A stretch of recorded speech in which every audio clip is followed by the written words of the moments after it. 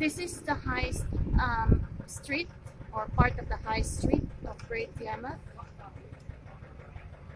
Lots, lots of hotels and guest houses. Loads of eating places.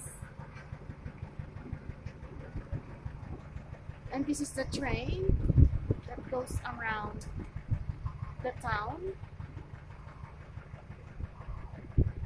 Leaves every 20 minutes. And the price is this. The price.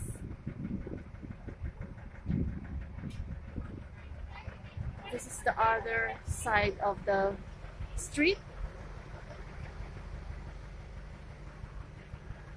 where you will find the Joyland Children's Fun Park.